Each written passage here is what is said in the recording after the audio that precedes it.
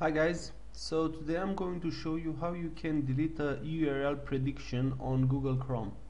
So the important thing that you need to know in Google Chrome is that you cannot delete all predictions. So let's say you want to write something and you will see different uh, predictions. So these are the pages that I already visited and these are the searches so the searches or the pages that are on favorite you cannot delete them. But these pages that have this icon you can delete it. So all you need to do is just press shift and delete.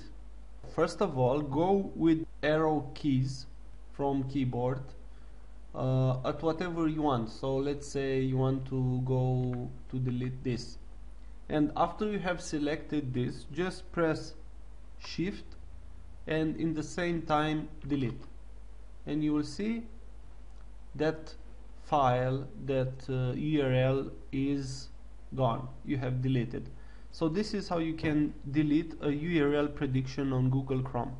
Thanks for watching subscribe and leave a comment below if you have any more question. Bye bye